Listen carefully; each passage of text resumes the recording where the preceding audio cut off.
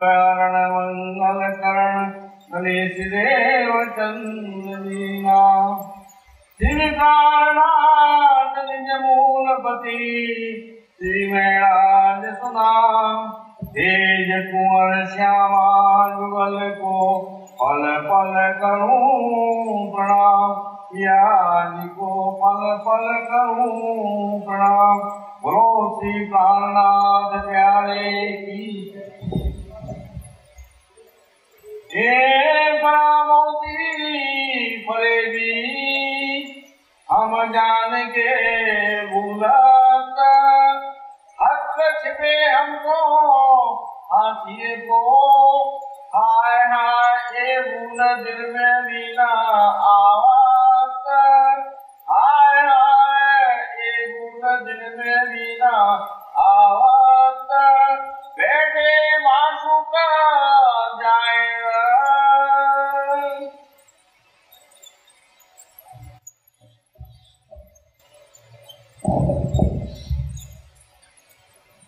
अक्षर तीर्थांकरी ने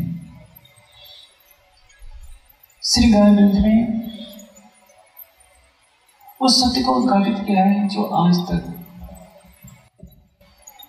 कभी उद्घाटित नहीं हो सका था सिवा इस जागरण ब्रह्मांड के के लिए बैठे मासों के तो ज़ाहिर।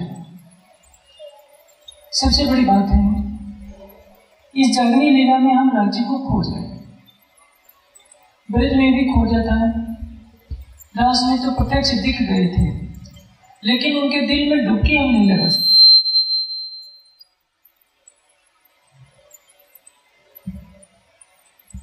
प्रश्न ये होता है कि राज्य कहाँ है?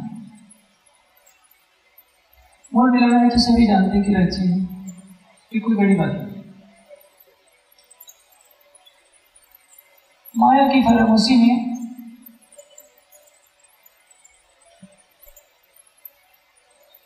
हमारी आत्मा ये निर्णय नहीं कर पा रही है कि करे क्या।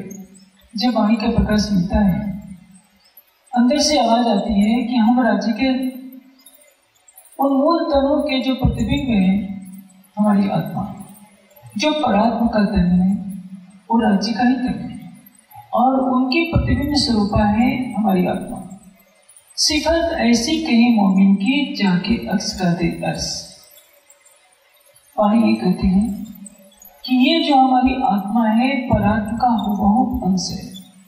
परात्मा में क्या है? सारा परम धाम परात्म के दिल में जहाँ राज्य का स्वरूप विराजमान होगा, सारा परम धाम वही होगा।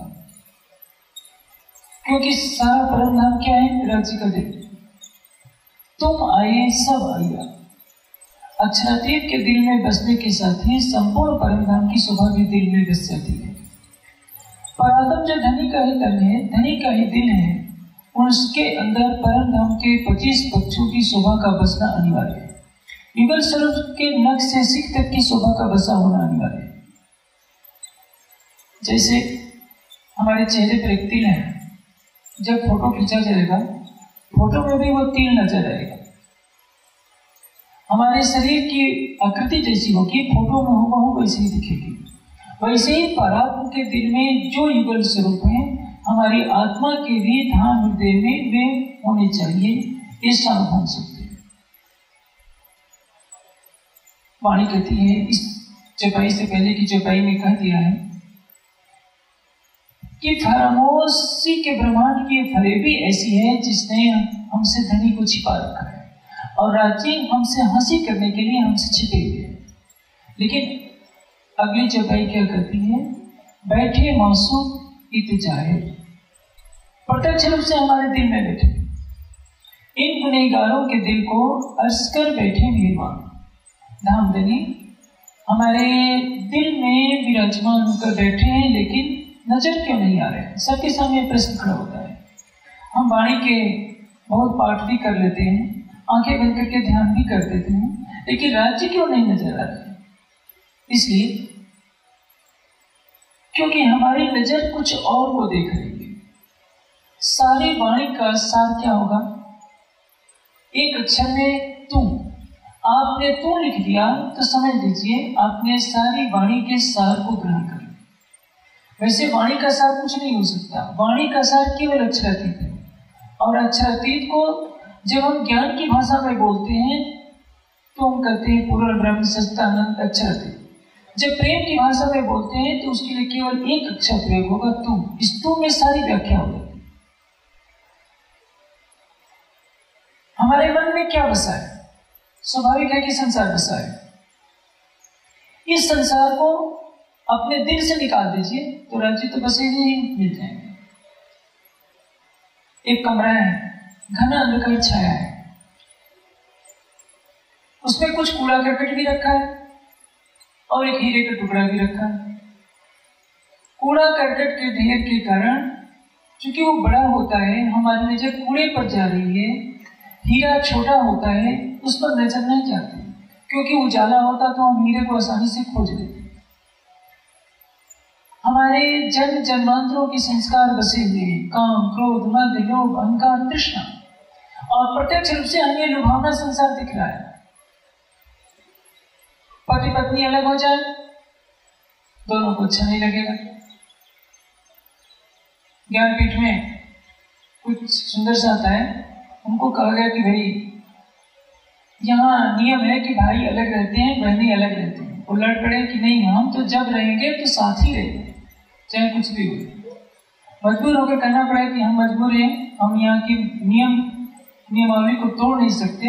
आपको रहना होगा तो अलग ही रहना पड़ेगा। कितनी बड़ी पीड़ा है। दो मिट्टी के पुत्रों का संबंध जुड़ गया माता पिता ने जुड़ा दिया, राज्य से लेना देना नहीं। और उम्र क्या थी? पैंसठ से ऊपर सत्तर साल की उम्र में भी रहेंगे तो साथ ही रहेंगे। ये क्या मोह का धरत है? बच्चे जान से प्यारे, रिश्तेदार जान से प्यारे राज्य जान से क्यों नहीं प्यारे? क्योंकि हमारी नज़र इसी कूड़ा करकट को देखने में लग गई है। सवेरे से लेकर शाम तक अच्छे अच्छे खाने को मिले अच्छे अच्छे कपड़े हो, हवाई जहाज़ में यात्रा हो, हमारी नज़र संसार के इन्हीं दृश्यों को तो देखने लगी है फिर जब कूड़ा ही नज़र आ रहा है तो उस कमरे में रखा हुआ हीरा नज़र कहाँ से आएगा हमको खेल दिखावन काज, हम सो आगू आए श्रीराज रामदेवी ने स्पष्ट कर दिया। परम धाम में यदि अलग नहीं हो सकते तो चाहे ब्रज का ब्रह्मांड हो, चाहे जागनी का ब्रह्मांड हो, चाहे राज का ब्रह्मांड हो अच्छा अतीत कभी भी एक पल के लिए भी हमसे जुदा नहीं हुए थे। न है और न कभी हो सकेंगे, हमारी अंतर दृष्टि बंद हो चुकी है। हमारी माया की नज़र संसार को देख रही है तो लगता है कि राज्य हमसे जुदा है। जैसे ही अंतर्दृष्टि खुलेगी, लगेगा कि जिस युगल स्वरूप को हम खोजना चाहते थे, जिसके लिए हम पाठ रखते थे, पूजा करते थे, आँखें बंद करके दिल में ढूँढने का प्रयास करते थे, वो तो अनाज काल से हमारे दिल में बसा हुआ है। बस यही बात है पहचान की। पहचान बिना गिरो क्या करे या यार या सितार चाहे श्यामा जी हो, चाहे इंद्रावती जी हो, चाहे शकुंडल हो, चाहे अमरावती जी हो, चाहे आसबाई हो तैसा इत होता गया जैसा हजूर हुक्म करे। इन तरों से होने वाली लीला को नियंत्रित कौन कर रहा है? जो मूल मिला में बैठे हैं। और माया के खेल में? सतगुरु धनिष्देव चंद जी भी चालीस वर्ष की अवस्था तक खोजते थे पिया तो को मैं बहुविध खोजिया। छोड़ धंधा सब और। पूछत फिरो सुहागिनी, कोई बतावे पिया ठोर। राज्य कहाँ बैठे? श्यामा जी के दिल में। और श्यामा जी कहाँ कहाँ खोजते फिरते हैं मुला के पास भी जा रहे हैं देवचंद जी। बैरागियों के पास जा रहे हैं। जो कहता है वही करते मूर्तियों के सामने भी दंडवत प्रणाम भी करते हैं। जो नहीं करना चाहिए, वो भी करते किस लिए क्योंकि अंदर में तड़प है कि मुझे मेरा मेरा प्रीतम मिलना चाहिए। जब भया बरस ग्यारह मन जो ये विचार, मैं कौन, कहाँ से आया, कहाँ है मेरा भक्ता कौन खोज रहा है? अक्षरातीत की हृदय स्वरूपा अपने हृदयेश्वर को खोज रही है, अपने प्राणेश्वर को खोज रही है। और प्राणेश्वर कहाँ बसा हुआ है? उनके धाम हृदय में। ये हँसी की खेल है। इसको कहते हैं लुका छिपी का खेल। बच्चे जब लुका छिपी का खेल क्या करते हैं? एक की आँखों पर पट्टी बाँध दी जाती है। और उसी के पास होते हैं। ताली दूसरा बजाता है। बच्चा तो जिसको खोजना होता है, बिल्कुल पास होता है, लेकिन पीठ की तरफ़ होता है। दो कदम की दूरी पर। और जिसकी आँख पर पट्टी बगती है, वो चारों तरफ़ भागता फिरता है। उसी तरह से हमारा हाल हो रहा है। ब्रज में जो श्रीकृष्ण के तन में बैठकर जो अक्षरातीत का आवेश रूप लीला कर रहा था, वही सखियों के अंदर भी बैठा है राज के अंदर भी वही बैठा है, क्योंकि जो सखियों के मूल तन है, वो तो राज्य के ही तन है, और उनका प्रतिबिंब भी तो हमारी आत्मा के रूप में ब्रज में आया, रस में आया, या जागने के ब्रह्मांड में भी आया। कई बार मैंने चर्चा में इस बात को दृष्टांत दिया है, मैं फिर से दोहरा रहा हूँ, ताकि वो बात हमारे मन पटल पर बैठ जाए, कि राज्य दिल में होते हुए भी क्यों नहीं दिखाई देते? अभी मैंने पहले थोड़ा सा, छोटा सा उदाहरण दिया था। कमरा एक है उसमें कुछ कूड़ा करकट पड़ा है और एक हीरे का टुकड़ा है। अंधकार होने के कारण हमारी नज़र हीरे के टुकड़े पर नहीं पड़ रही है। आपके पास हज़ार रुपये का नोट है। मुंबई आप चले गए। भूख से व्याकुल हो गए हैं। आप भूल गए हैं कि मेरे पॉकेट में हज़ार रुपये का नोट पड़ा है। आप सोचते हैं कोई परिचित मिल जाता तो मैं उसे उधार मांगकर भोजन करता। या उसके घर भोजन करता भूख के मारे रहा नहीं जा रहा है। जब आप तड़पने लगते हैं आपका हाथ आपके पॉकेट में जाता है तो लगता है कि मेरे पॉकेट में तो हज़ार रुपया पहले से पड़ा था, मैं परेशान हो रहा था और मुझे मालूम ही नहीं था कि मेरे पॉकेट में इतनी सी बात है। ये बात बार बार वाणी के द्वारा हमको बताई जा रही है। ऊपर तले अर्श न कहया अर्श कहया मोमिन लोग। फारसी में एक कहावत कही जाती है कलुबे मोमिन अर्श मनस्त ब्रह्म सृष्टियों का दिल ही धनी का अर्श होता दूर की तो छोड़िए। गीता के कथा, गीता के उपदेष्टा ने भी कह दिया ईश्वर सर्वभूताना हृदय से अर्जुन। सभी प्राणियों के हृदय मंदिर में परमात्मा बसता है। लेकिन गीता के पढ़ने वाले कहाँ से पटकेंगे पत्थरों की मूर्तियों के सामने। जो मूर्ति बोल नहीं सकती, कुछ खाना दे नहीं सकती, उसके सामने दुनिया रगड़ती है। और साक्षात नारायण शिव के रूप में आता है, उसको दुत्कार देगी दुनिया नहीं, यहाँ जाओ। ठाकुर जी को अभी भोग नहीं लगा है तो कहाँ से मंदिर में घुसे कहने का तात्पर्य क्या है? सालिग्राम जो पत्थर के हैं, उनको दुनिया खीर और पूरी खिलाएगी। साक्षात नारायण इंसान के अंदर बैठा हुआ आता है, कोई इसको दो मुट्ठी अन्न देने को तैयार नहीं है। गीता को पढ़ने वाले भूल जाते हैं, गीता क्या कहती है? उपनिषद क्या कहते हैं? वेद क्या कहते हैं? हम भी तो भूले बैठे। मोटे तौर पर हमको बताया जाता है कि हद पार बेहद है, बेहद पार अक्षर अक्षर पार वतन है, जागिए ईंधन हद से परे बेहद बेहद से परे अक्षर है और अक्षर से परे हमारा घर है। लेकिन जो परम धाम राज्य के दिल का ही प्रकट रूप है, वही राज्य जब हमारे दिल में बसे हैं तो सारा परम धाम हमारे दिल में क्यों नहीं बसे? सिंगार के दूसरे प्रकरण में महामती जी कहते हैं, अब हुक्मे द्वारा खोलिया, लिया अपने हाथ का दिल मोमिन के आए गए अर्ज़ कर बैठे के साथ। लीला में हर परमात्मा के धाम हृदय में धनी बैठे हैं। अभी आपने पहला चरण सुना था, हक छिपे हँसी को।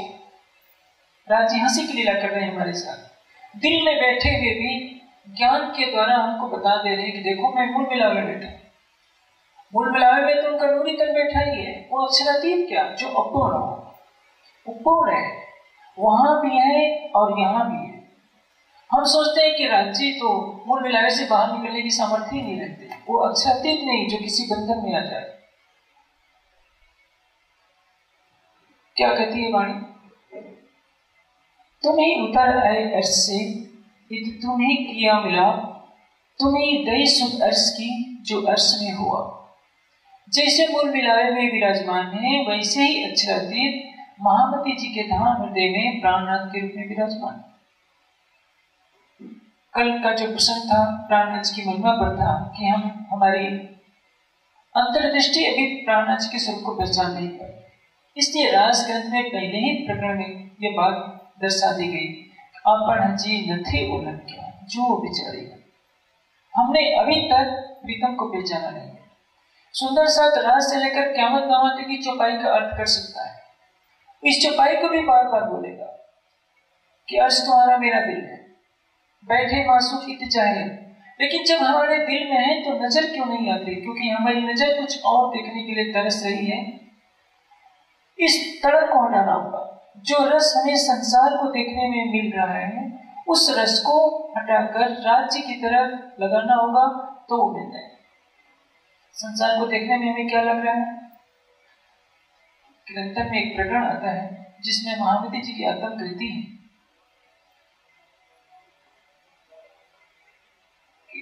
अब हम रहो न जामी, मूल मिलावे बिन। हृदय चढ़ आवे संसार लगत के ये बाह्य रूप से कहा जा रहा है कि अब मेरी आत्मा उस मूल मिलावे का ध्यान करना चाह रही है। मूल मिलावे को देखने के लिए तरस रही है। ये सिखापन है सुंदर सत्य कह रहे हैं महामती जी, अपने ऊपर। आगे क्या कहते हैं? कि मैं, मेरी आत्मा अब क्या चाह रही है? हृदय चढ़ चढ़ आवे संसार लगत लगे।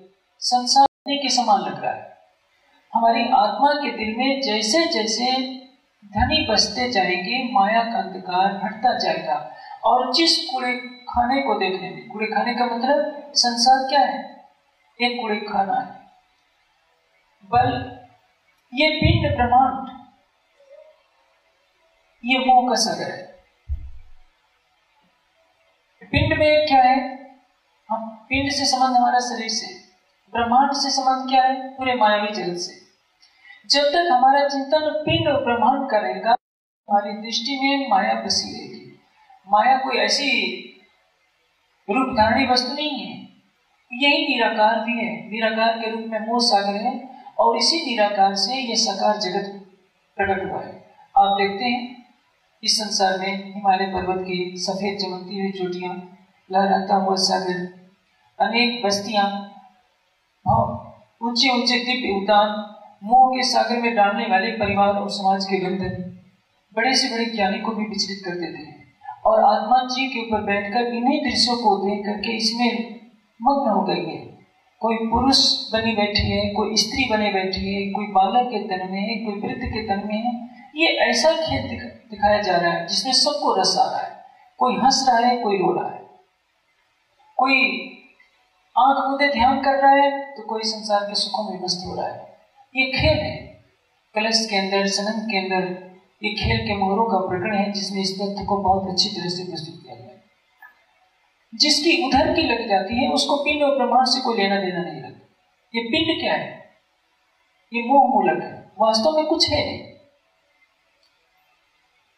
हमारा जन्म हुआ। माता के गर्भ में हमारे शरीर का पिंड पलता रहा। समय पर जन्म हुआ। हमने आँखें खोली। हमारा नामकरण किया गया। हमने एक परिवार परिवार तक अपने एक दायरा बना लिया।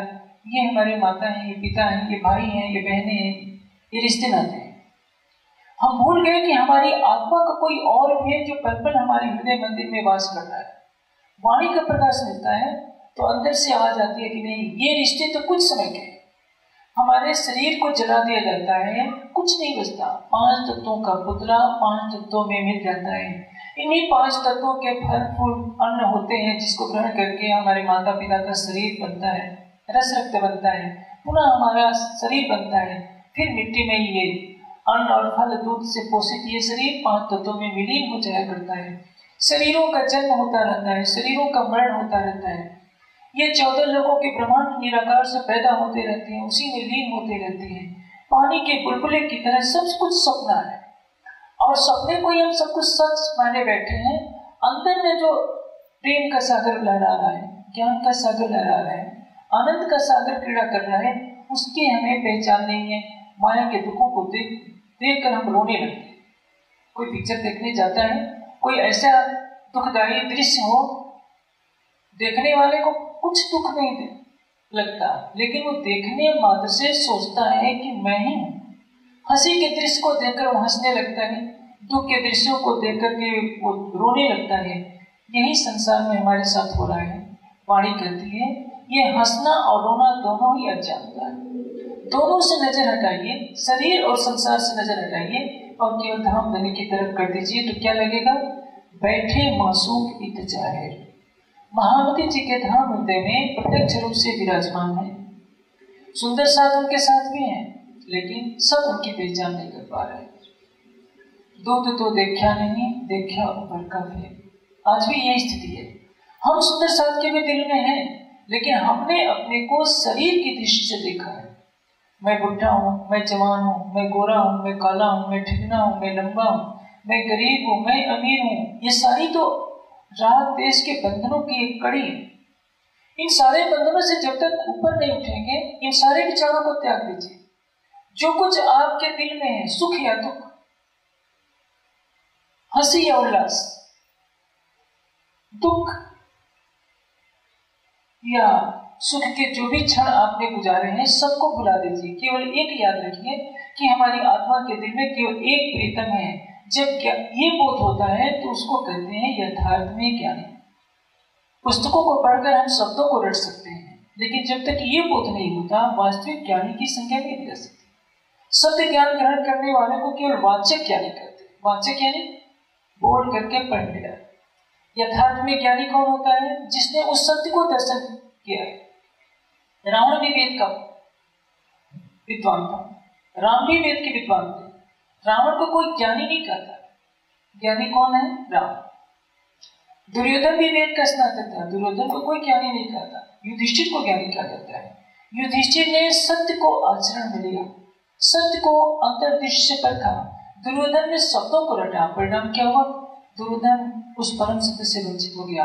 आज हमारे साथ यही हो रहा है।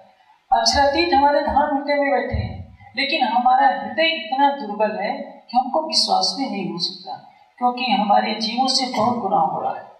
हम झूठ बोलते हैं, कदम कदम पर। कितने विकारों से हम ग्रसित हैं। जब हम उन विकारों को देखते हैं तो लगता है कि क्या अक्षरातीत हमारे दिल में विराजमान हो सकते हैं। अक्षरातीत आपकी आत्मा के दिल में विराजमान जीव के दिल में विराजमान करने के लिए आपको चितवनी करने के लिए कहा जाता है, वाणी पढ़ने के लिए कहा जाता है। हर किला चित पहुंचिया अर्श हुआ दिला। जब आपने वाणी के ज्ञान का प्रकाश लिया, चाहे कुछ भी हो जाए, आप हनुमान जी की पूजा नहीं कर सकते। शंकर जी की पूजा नहीं करेंगे।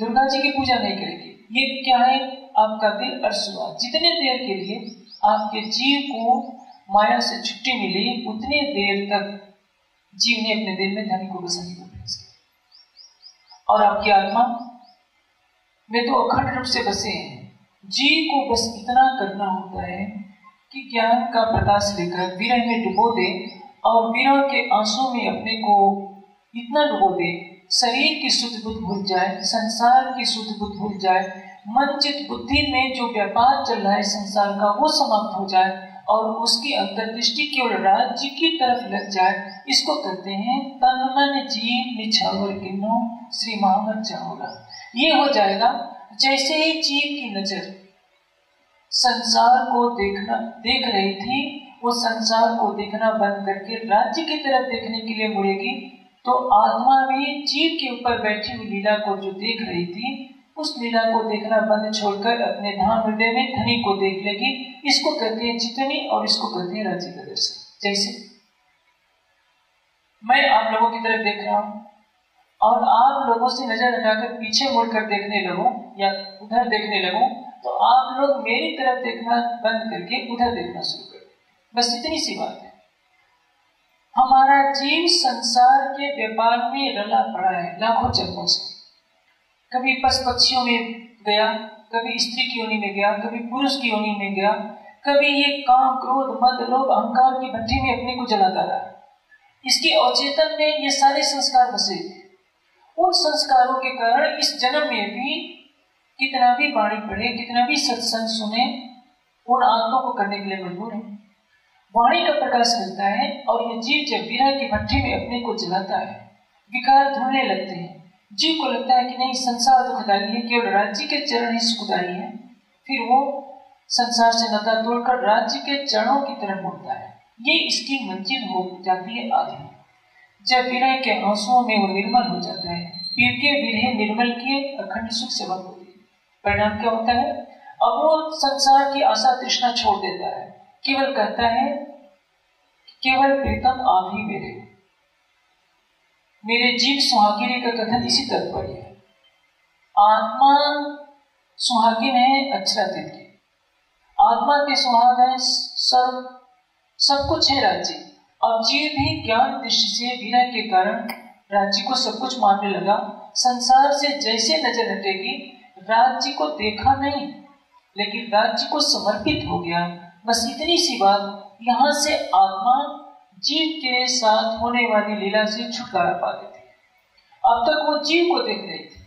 जीव भाव में खुद भूली पड़ी थी, लेकिन वीरा के रस से जब उसने देखा कि जीव तो संसार को देखना ही नहीं चाहता है, फिर वो क्या देखेगा? अपने अंदर में बैठे हुए धामधनी को देख लेती है। इसको कहते हैं, बैठे मांसो ज़ाहिर धामधनी है हमारे दिल में, लेकिन हमारा दुर्बल मनोभाव। जैसे कोई सुंदर साथ है गाँव की बस्ती से बाहर झोपड़पट्टी में रह रहा है, झोपड़ी सी बनाकर। उसके पास फटे पुराने कपड़े भी नहीं है। किसी तरह से शरीर को ढके हैं। दो रुपया भी नहीं है कि थोड़ा सा खाने की सामग्री लाए। ज्ञान का प्रकाश नहीं मिला है। परम नाम की आत्मा है। वो क्या सोच सकता है कि मेरे अंदर क्या राज्य बैठ सकते हैं? वो तो यही सोचेगा, जो बड़े बड़े ऋषि मुनियों को नहीं मिले तो मेरा भला मुझे कैसे मिल सकते इसलिए हमारे समाज के एक महान विभूति जयपुर गए हुए थे। उन्होंने कहा, सुंदर साहब जी, आपको चितवनी करने की कोई ज़रूरत नहीं। जब मुझको रांची नहीं दिखते हैं तो आपको थोड़े दिखे क्योंकि सुंदर साहब तो बेचारा गृहस्थ परिणाम क्या होता है? अक्षरातीत किसी के बंधन में नहीं। अक्षरातीत किसी वर्ग विशेष के बंधन में नहीं, जाति विशेष के बंधन में नहीं, संप्रदाय विशेष के बंधन में नहीं स्थान विशेष के बंधन में नहीं वो सबके हैं। और हर आत्मा के दिल में उनका वास है। जो उनको प्रेम से पुकारेगा, माया को तिलंजलि देगा, माया को ठोकर लगाएगा, उनकी चाहत करेगा, उनको वो कहीं से भी प्राप्त कर सकते और यही भूल जो हमारी आत्मा को जागने के पद पर बढ़ने दे रही है हमें ये चरण याद रखना होगा, बैठे मासूक इत ज़ाहिर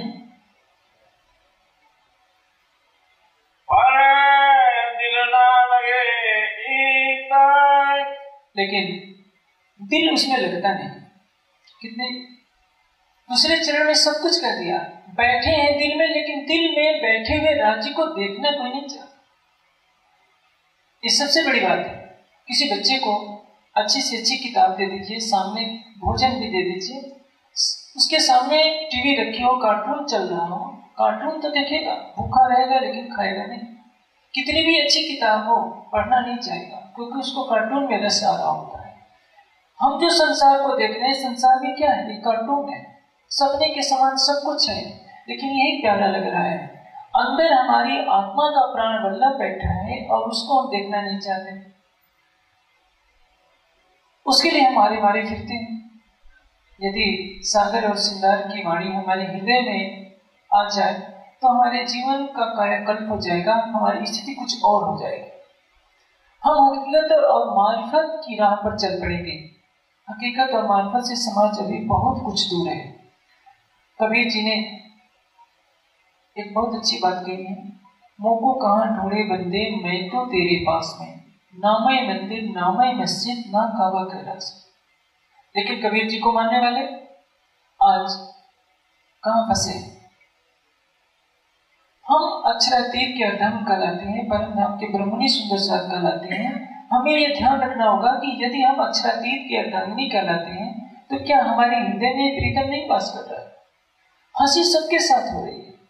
जैसे देवचंद जी महाराज के अंदर बैठे हैं राज्य लेकिन चालीस वर्ष तक कसौटी पर कसते रास्ते में बारात के पीछे जाते जाते दर्शन देते हैं, फिर छिप जाते हैं। कहा? उन्हीं के अंदर से निकलते हैं, उन्हीं को दर्शन देते हैं, फिर अंदर ध्यान लेकिन देवचंद जी कुछ पता नहीं। चितवनी में भी उन्हीं के धाम हृदय में ही बैठे बैठे दर्शन देते हैं। श्याम जी के मंदिर में साक्षात प्रकट हो जाते हैं। सोचते हैं कि कोई बाहर से आ गए। नहीं, वो अक्षरातीत नहीं सूरज अपनी किरणों से कभी भी अलग नहीं हो सकता। लहरें सागर से कभी अलग नहीं हो सकती। आत्मा भले ही खेल में आई है, लेकिन आत्माओं से धाम कभी अलग नहीं हो सकती। तभी तो कहा है दिल मोमिन के आय के अर्श का बैठे हमारे दिल में ब्रज में भी थे, रास में भी थे, लेकिन वो दोनों ब्रह्मांड निद्रा में थे आदि नींद और आदि जागृति के थे, इसलिए कुछ पता नहीं चला। देवचंद जी के तन से होने वाली लीला में भी यही भूल होगी कि सबने उस स्वरूप को नहीं पहचाना। लीला चमत्कारिक लीलाओं के पीछे पड़ गए, परिणाम क्या हुआ? देवचंद जी के अंदर बैठे हुए स्वरूप की किसी ने पहचान नहीं की। महामती जी के धाम हृदय में विराजमान होकर अक्षरातीत ने ये सागर श्रृंगार की वाणी दी है। और सागर श्रृंगार की ये वाणी हमें सारे रहस्यों से पर्दा हटाकर उन तथ्यों को उजागर कर रही है जो परम धाम में भी उजागर नहीं है। बैठे मासूम इत ज़ाहिर पर दिल न लगे, हमारा दिल उसमें लगता ही नहीं। मासूक मुख देखन को मासूक मुख देखन को आया है, नैना बिना दर्शन हम भागते हैं सौंदर्य के पीछे। फूलों का सौंदर्य हमको खींचता है। हिमालय की बर्फीली चोटियों का सौंदर्य हमको खींचता है। किसी भाई बहन का सौंदर्य खींचता है हमें। सौंदर्य से हर प्राणी आकर्षित होता है। ऋषि, मुनि, देवी, देवता। जो बिल्कुल नग्न है, जिनको संसार की कुछ तृष्णा नहीं, सुखदेव जैसे योगेश्वर भी आखिर रास बिहारी का सौंदर्य तो भी देखना चाहते अंधे सुर की अंतर्दृष्टि भी तो राधा कृष्ण को देखना चाहती अक्षरातीत सौंदर्य की पराकाष्ठा है। पराकाष्ठा यानी अक्षरातीत से अधिक सुंदर न कोई है, न कभी होगा। अक्षरातीत से अधिक कोई मीठा, मधुर भी नहीं हो सकता। अक्षरातीत से अधिक कोई आनंद का सागर भी नहीं हो सकता। मासूक मुख देखन को है नैना की नज़र से? क्या कर दिया है? जिन देखा हक हैड़ा वाणी कहती है अक्षरातीत के हृदय कमल की शोभा क्या है। जिन देखा हक हैड़ा फेरे न नज़र तरफ़ और, वाको उसी सूरत बिना आग लगे सब ये संसार इसलिए अच्छा लग रहा है क्योंकि अभी राज्य देखने को नहीं मिले। राज्य के चरण कमल का एक अंगूठा भी देखने को मिलता है तो कोई भी व्यक्ति कभी संसार की तरफ़ देखना नहीं चाहेगा एक बच्चे को खिलौना दे दीजिए, खूब खेलता रहता है। कुछ बात बोलिए, बोलेगा नहीं।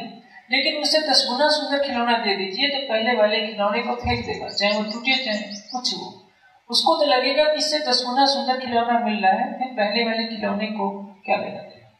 वैसे ही जब हमारी आत्मा के धाम हृदय में धनी की शोभा दिखने लगेगी तो लगेगा कि हम अब तक संसार में कहा थे ये हमारा शरीर है पाँच तत्वों का। जलवायु के अनुसार हमारे शरीर की आकृति रूप रंग निर्धारित हो जाते हैं। हमने इस चमड़े के सौंदर्य को देखा है। आत्मा के अंदर के सौंदर्य को तो नहीं देखा है कि हमारी आत्मा का स्वरूप क्या है। और तो और, यदि आपको अपने जीव के भी स्वरूप का बोध हो जाए तो लगेगा कि कहा मैं अब तक हड्डी और मांस से हमारा स्वरूप तो कुछ और है। और जिन्होंने इस स्वरूप को देखा, उनको कहते हैं आत्मज्ञान चाहे महावीर स्वामी हो, चाहे गौतम बुद्ध हो, चाहे वेद व्यास जी हो, चाहे पतंजलि हो, जिन जिन ऋषि मुनियों, योगेश्वरों ने ज्ञानी जनों ने अपने स्वरूप को देखा है, उनको आत्मज्ञानी कहते हैं। और शरीर को देखने वाले को क्या कहते हैं? अच्छा वाही अनिलम अमृतम अधितम शरीरम भस्मांतम शरीर तो नश्वर है अंदर बैठी हुई चेतना का जिसने दर्शन कर लिया जिसने उस शाश्वत सत्य को जान लिया वही वास्तव में ज्ञानी होता है संसार के सारे विश्वविद्यालयों में डिग्रियाँ भी ले ली लेकिन यदि खुद को नहीं जाना कुछ नहीं जाना साई बुल्ले ने बहुत कुछ कहा है इस बारे में कहते हैं कि सारी पोथियों को पढ़ लिया, लेकिन खुद को नहीं जाना तो क्या पढ़ाएँगे स्वयं को जानना सबसे बड़ा ज्ञान आत्मा के प्रीतम को पा लेना सबसे बड़ी विरक्ति संसार से यह नहीं पाता। संसार अपने शरीर को जानता है संसारिक रिश्तों को जानता है, खुद को नहीं जानता कि वो वो है क्या। अब हमारे साथ कितनी बड़ी भूल हो रही है। अक्षरातीत बिन बुलाए, बिन चाहे। हमारे धाम हृदय में नक्शे सिख कर श्रृंगार करके बैठे।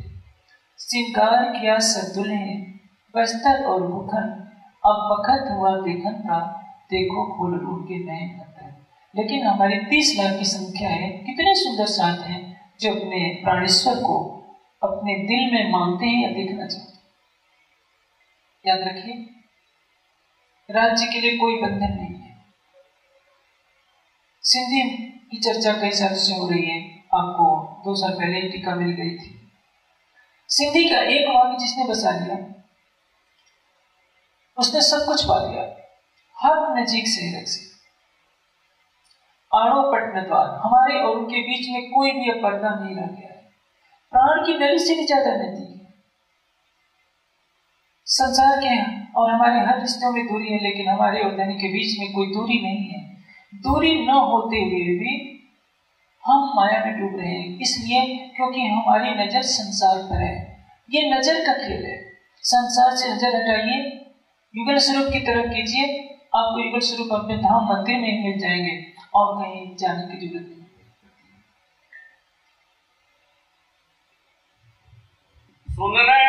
कानना हमारे ये काम बाहर की आवाज़ के प्यासे हैं। अंतरात्मा की आवाज़ को आत्मा के काम ही सुन सकते हैं। लेकिन अंतर्दृष्टि जब तक नहीं खुलेगी, हमारी अंतरात्मा के काम के भी दरवाजे बंद रहते हैं। वाणी क्या कहती है? जो मासूक सेजना आया सेज्या क्या है? दिल की सेज्या। सेज्या पर तो विराजमान है। लेकिन जब तक हमारी अंतर्दृष्टि खुल करके उसको देखे नहीं, हमारे लिए रहते हुए भी वो नहीं है। जैसे अभी मैंने दृष्टान दिया कि वो मुंबई आप गए हुए हैं। आपके पॉकेट तो में तो हज़ार रुपया रखा है। आप भूल गए हैं तो रखे हुए होने पर भी आपको पता नहीं है। वैसे ही दिल में राज्य है, लेकिन हमारी नज़र संसार को देख रही है तो हमें अपने अंदर राज्य का एहसास नहीं होता। हम सोचते हैं कि कहीं सी बारिश हो जाए तो राज्य तक हमारी बात पहुँच जाए। यही सबसे बड़ी भूल होती है। जिससे सिफारिश करवानी है, वो आपके अंदर बसता है। आशिक और मासूम के बीच में कोई पर्दा नहीं होता। पर्दा तो ये माया का है। आत्मविश्वास की हमारे अंदर कमी है कई बार मैंने इस दृष्टांत को दिया है। कमरे में कितना भी सफ़ाई हो, खिड़कियाँ सारी बंद कर दीजिए। और दोपहर का सूरज भी उगा हो तो अंदर अंधेरा ही रहेगा। हमने अपने ज्ञान के चक्षुओं को बंद कर दिया है। तो परिणाम क्या है? हमें अंतर्दृष्टि प्राप्त नहीं हो पा रही है और इसलिए हम अपने धाम में बैठे हुए धनी को नहीं जान पा रहे संसार की तरह हम भी भटक रहे हैं। हम सोचते हैं कि संसार की राह अपनाएँगे तो हमें राज्य मिल जाएँगे। हाँ सागर सिंगार की बात सबसे न्यारी होती है। संसार से न्यारी इसलिए तो कह दिया वाणी मेरे पीर की न्यारी जो संसार जो संसार में चल रहा है उसको ढोकर हम यदि चलना चाहेंगे तो राज्य कभी नहीं मिल पाए क्या कह दिया देह उड़े ना बिना इश्क देह कब उड़ेगी देह का उड़ना यानी शरीर का बंधन समाप्त होगा शरीर का ममत्व समाप्त हो जाएगा इसका मतलब ये नहीं कि शरीर को गला करके समाप्त कर दीजिए।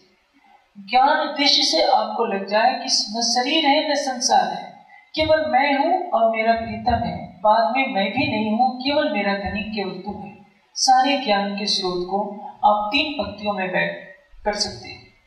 न मैं हूँ, न संसार है, न शरीर है। केवल तुम है। बस इतना जिसने जान लिया, समझ लीजिए, और इसको आचरण में ला लिया, उसने सारी पढ़ाई पढ़ ली, सारी भक्ति कर मासूक से जन आया, देखा सुनिया न कही बात। रूह के नैनों से देखिए। रूह के कानों से उनकी बातें सुनिए। और रूह की जीवा से उनसे साक्षात बातें कीजिए। ये जीवन का सर्वोपरि लक्ष्य। रूह नैनो दीदार कर रूह ज़ुबान हक सो बोल। रूह कानों बातें सुने, यही पढ़ लो रस रखो ये पर्दा है। हम माया के शरीर की जीवा से बोलते हैं, माया के कानों से संसार की बातें सुनते हैं और माया की आँखों से संसार को देखते हैं। ये सारे दरवाजे बंद कर लीजिए। न देखना, न सुनना, न बंद न बातें करना। अंदर की आँखों से सब कुछ कीजिए। इसको कहते हैं ध्यान? ध्यान का मतलब क्या? ध्यान निर्विषय मन। मन का विषय से रहित हो जाना। मेरा सम्मान हुआ या अपमान? मैं सुखी हूँ या दुखी? गरीब हूँ या धनवान अच्छा हूँ या बुरा? ये सारे मन के विषय है। सारे द्वंद्वों से परे हो जाइए। आप पापी हैं कि पुण्यात्मा है? ये विचार करना आपका काम नहीं हीरे के ऊपर कीचड़ लगा है। जब तक कीचड़ लगा रहेगा उसकी कोई कीमत नहीं है। कीचड़ को हटा दीजिए, वो हीरा लाखों में बिकने लगता है। आप यही मानिए कि मैं कीचड़ लगा हुआ हीरा हूँ, लेकिन उस कीचड़ को हटाने का कार्य धनी की वाणी करेगी राज्य को प्रेम करेगा। जब जोश इस का बल बढ़ता है तो ये देह उड़े उड़े। देह का अस्तित्व समाप्त हो जाता है, संसार का अस्तित्व समाप्त हो जाता है। तब आपकी आत्मा अपनी अंतर दृष्टि को खोलकर धाम देने को देखती है। रू नैनो दीदार कर रू जुबा सो बोल रू कानो बातें सुनी, यही पट रूह अरस ये कब होगा? जब हम धनी के प्रेम की तरफ़ चलेंगे, ध्यान की तरफ़ चलेंगे अब संसार से, संसार में जो कुछ चल रहा है, उसको भूला दीजिए। आप युगल की शोभा में अपनी अंतर दृष्टि लगा दीजिए, लेकिन वहाँ बुद्धि का खेल नहीं होना चाहिए। आपने यदि सोचना शुरू कर दिया कि कितने हार हैं, हाथों में कितनी अंगुलियाँ आती तो बुद्धि की दौड़ हो गई। ये चितवनी नहीं हुई चितवनी का मतलब सौंदर्य में डूबना, शोभा में डूबना, प्रेम में डूबना, ज्ञान का काम नहीं होता जहाँ चितवनी में ज्ञान आ गया, वो चर्चनी हो गई। चर्चनी और चितवनी में अंतर है। चितवनी का तात्पर्य है अंतर दृष्टि से देखना। चर्चनी का कार्य है, ज्ञान दृष्टि से देखना। आपने वाणी में पढ़ा है, ज्ञान बुद्धि से उसको याद करते जा रहे हैं, ये चर्चनी इससे दर्शन नहीं होगा। दर्शन के लिए सौंदर्य के सागर में अपने जीव को भुला दीजिए। प्रेम में इतना डुबो दीजिए कि आपको खुद की सुध न रह जाए। यही कहते हैं, मासूक सेज न आया, देखा सुनिया ने कई बात। सुख अंग न लियो इन सेज को ताई निर्फल गई चुरा इस खेल में आना ही व्यर्थ है। इस मोहमयी रात में जिसने स्तन के रहते रहते राज्य को भी देखा। हमारे तो विश्वास भी नहीं। है अभी आपने थोड़ी देर पहले सुना था कीर्तन में सिंगार की, जो हक देखे टिक्या रहे, सोई अर्श के तन, सोई करे मूल मजकूर सोई करे वर्णन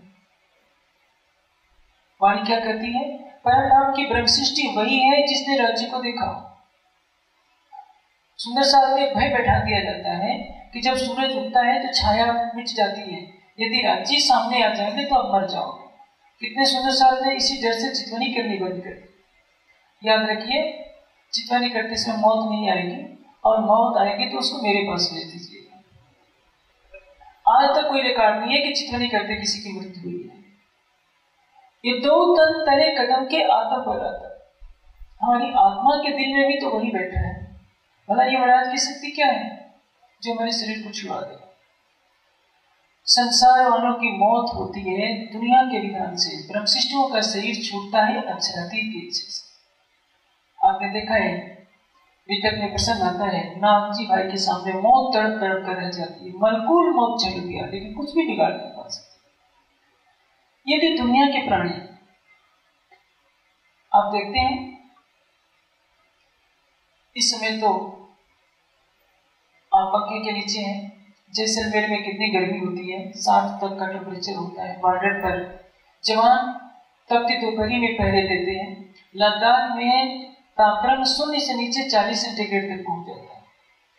यदि गुजरात में शून्य का तापक्रम हो जाए तो मैं समझता हूँ कितने लोग दुनिया से शून्य से नीचे 40 का टेम्परेचर होता है, वहाँ राइफल लेकर जवान पहले देते हैं। किस लिए? उधर से फायरिंग होती है, इधर से फायरिंग करते हैं। जान हथेली पर रहता है। एक कर्तव्य का बोध है। हमें भी तो बोध होना चाहिए कि परम धाम की अंगना है। यदि राज्य को पाने में शरीर की आहुति भी हो जाती है तो सौदा सस्ता है। लेकिन याद रखिए, जो राज्य से मिलने जाएगा, राज्य को पाने के लिए चितवनी करेगा, चितवनी में मृत्यु आपकी कभी नहीं हो सकती। न भूतो न भविष्य हाँ शरीर में कोई रोग है तो ये उसका कार्य है। प्रकृति का विधान है। रोग के कारण आपका शरीर छूट सकता है। चितवनी के कारण नहीं। चितवनी में तो आप मौत के शत्रु को बुला रहे हैं। संसार क्या है? मृत। इसलिए तो ऋषियों ने कहा, मृतो और माम अमृतम गए मृत से अमृत की तरफ़ ले चले जब आप अक्षरातीत को बुला रहे हैं, वहाँ काल की सत्ता क्या चलेगी? इसलिए हमारे जीवन का स्वरूपर लक्ष्य होना चाहिए रूह के नैनों से देखना, रूह के कानों से राज्य की मीठी प्रेम भरी बातें सुनना और अपनी रूह की जीवा से, आत्मा की जीवा से राज्य से साक्षात बातें करना। रामकृष्ण परमहंस के पास विवेकानंद गए, उसमें उनका नाम था नरेंद्र। पूछते हैं, बताइए, गुरुदेव, क्या आपने परमात्मा को देखा है? कहा कि कौन सी बड़ी बात है? मैं उनको वैसे ही देखता हूँ जैसे मैं तुमको देख रहा हूँ। मैं वैसे ही बात करता हूँ जैसे तुमसे बात करता हूँ। लेकिन एक दृढ़ संकल्प तो होना चाहिए कि हमें ये करना है। शिकागो शहर के टाउन हॉल में टाउन हॉल का मतलब जो शहर का मुख्य हॉल होता है, उसमें एक प्रेरणादायी वाक्य लिखा है और ये वाक्य पूरे शिकागो का मूल मंत्र माना जाता है। शिकागो में पहले, शिकागो वहाँ की भाषा का शब्द है। उसका अर्थ होता है जंगली प्याज। इसलिए क्योंकि वहाँ जंगली प्याज उगा करते थे, आज से 200 साल पहले शिकागो नाम का कोई शहर नहीं था। वहाँ 200-300 साल पहले जंगली प्याज उगा करते थे, इसलिए जब शहर बना तो उसका नाम ही शिकागो रख दिया गया। शिकागो के टाउन हॉल में क्या लिखा है? आई विल डू इट मुझे हर हालत में करना आई शैल डू इट नहीं आई विल डू इट मुझे अवश्य करना है। सुंदर साहब ये दृढ़ संकल्प बना लें कि मुझे अवश्य राज्य को देखना है। जो मेरे दिल में बसता है, उसको हम नहीं देख सकते। और जो दूर बैठा होता है, उसको देखते हैं, कितनी बड़ी हँसी होती है। यही बात कह रहे हैं कि राज्य हासिल करने के लिए फार्मोसी के ब्रह्मांड में हमसे छिपे हुए हैं और हमारे साथ ऐसी हासिल कर रहे हैं। हमारे दिल में बसते हैं, लेकिन मासूक मुख देखन को आया है, नैना भी न दर्शक हमारे कान राज्य की प्रेम भरी मधुर आवाज़ को सुनने के लिए तरस नहीं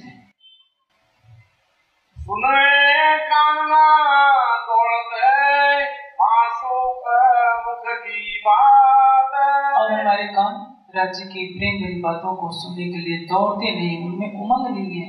इसलिए क्योंकि हम संसार की बातों को सुनना चाहते हैं। संसार की बातें सबसे प्रिय क्या लगती हैं आपको मालूम है?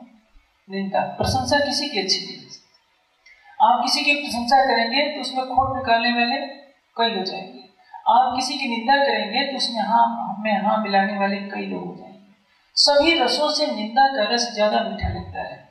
हम संसार की बातें छोड़कर केवल राज्य की बातें करें। बैठे बातें करे बका अर्स की तितविस्त भई बैठक। धुनी बातें करे दुनी की, आखिर तित दुनिया किसकी बातें करती है? संसार उनके दिल में संसार बसा होता है। और ब्रह्मशिष्टियों के धाम में केवल परम धाम और युगल स्वरूप बसे होते हैं। इसलिए उनकी जीवा पर केवल ज़िक्र सुभान केवल राज्य का ही वर्णन होना चाहिए। हम अपनी ऊर्जा को गलत, नकारात्मक चीज़ों में क्यों बैंक करें? हम बातें करें सकारात्मक, सृजन की, विनाश की नहीं, नकारात्मकता की नहीं। जीर्ण से महल है।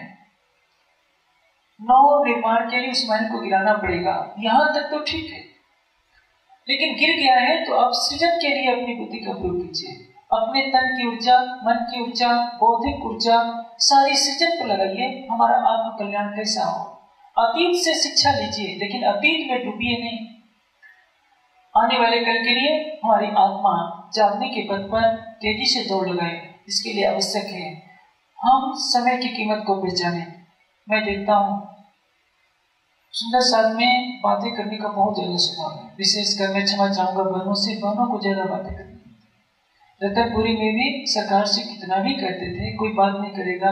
यदि छूट दे दी जाए तो बारह, एक बजे तक बातें होती रहती जानते हैं, विपसना जो साधना करने वाले चाहते हैं, उनको दस दस दिन तक बातें करने की छूट नहीं होती। कोई बात नहीं करेगा।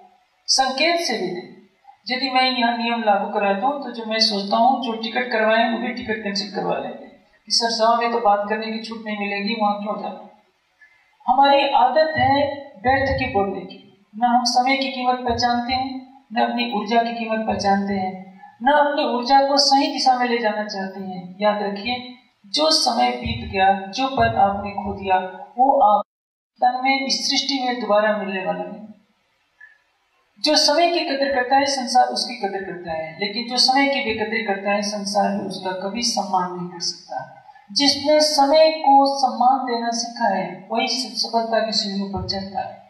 यदि आप, मैंने कल भी कहा था, प्रतिदिन दो दो घंटा ध्यान कीजिए, शाम एक घंटा, सोने से पहले और सवेरे एक घंटा।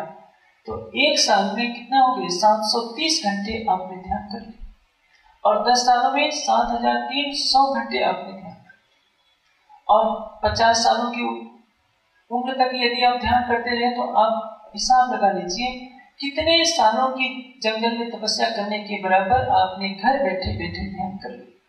लेकिन नियमितता होनी चाहिए। आज ध्यान किया, फिर छोड़ दिया। इससे कोई फ़ायदा नहीं।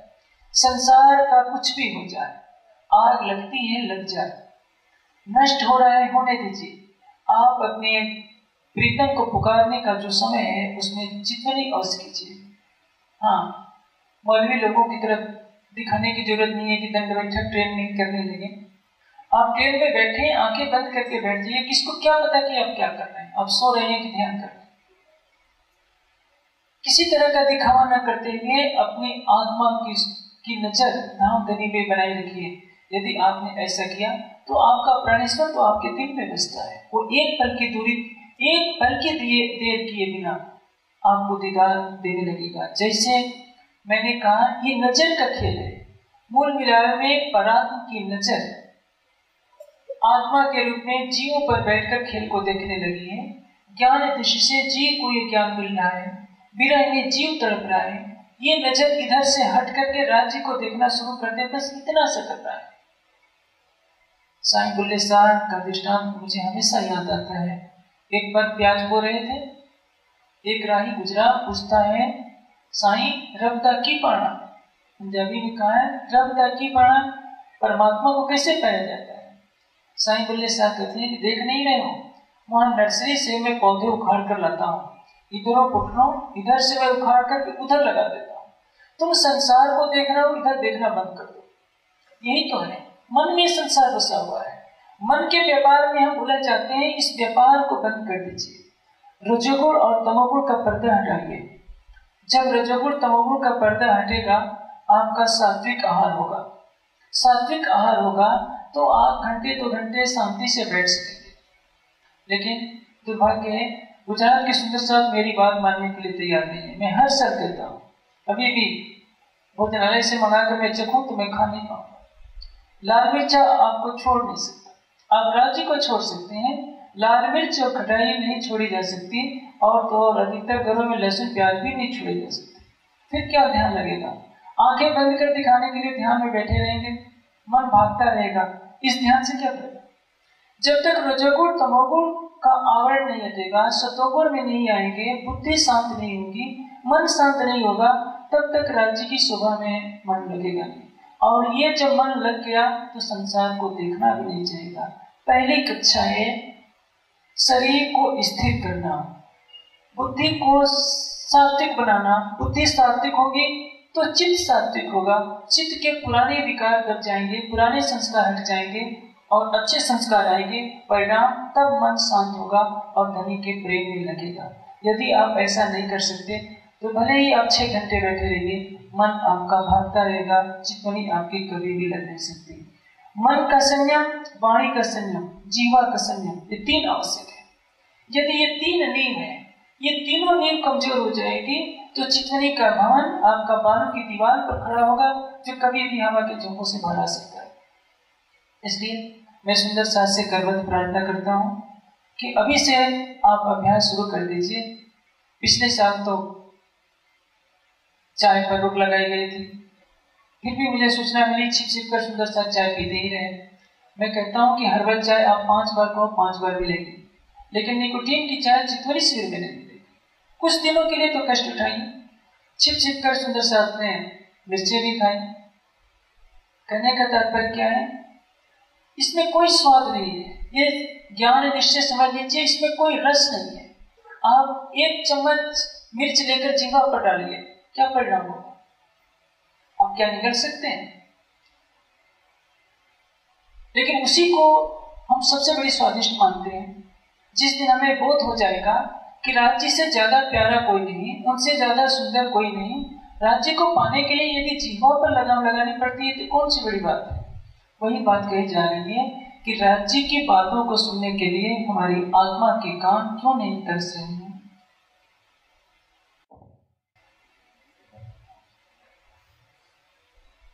इशक न जानो, कहाँ गया?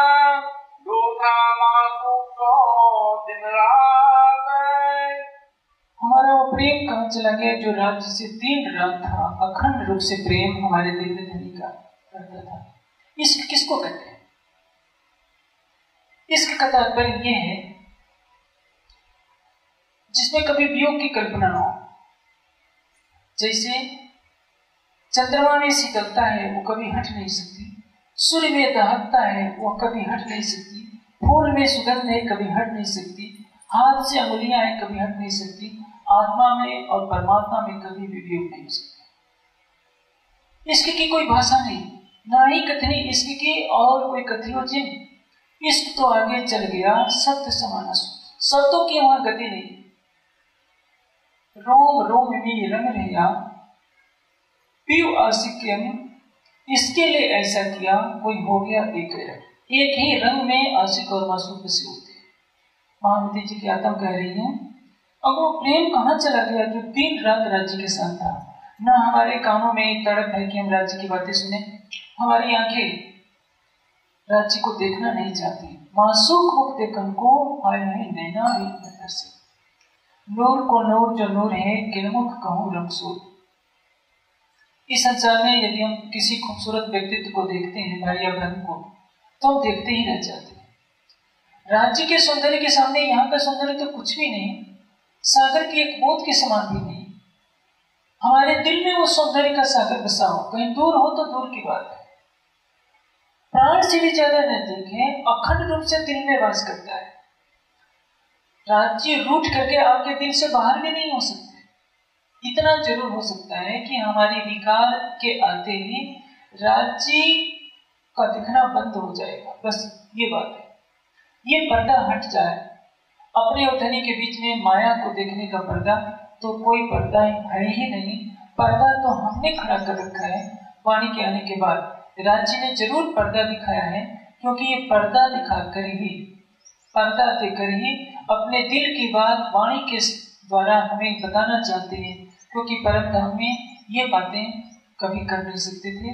या वाणी के द्वारा बता रहे हैं, जागने की लीला हमें पुकार रही है। यदि हमें अपने को जगाना है तो अपनी अंतर्दृष्टि खोलनी पड़ेगी और अपने धाम हृदय में अपने प्राण वल्लभ को पाना पड़ेगा। और एक ही बात याद रखिए, ऊपर तले अर्श न कहया, अर्श कहया मोमिन करो। इसकी कसौटी पर हम अपने को खरा सिद्ध करें, तभी हम वास्तविक रूप से सुंदर साथ हैं। आपसे बढ़ते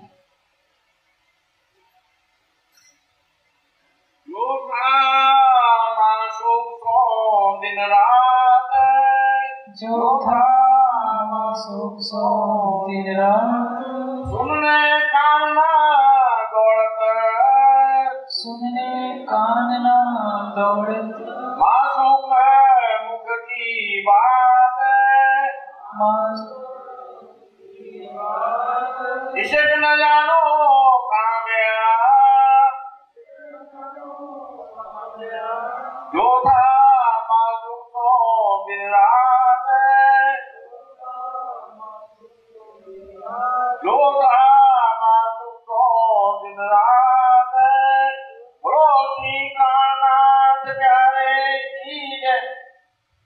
अधिक जानकारी के लिए देखें www.spjin.org